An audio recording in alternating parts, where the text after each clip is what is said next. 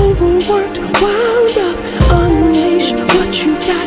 Let's explore your naughty side. Follow me, there we go.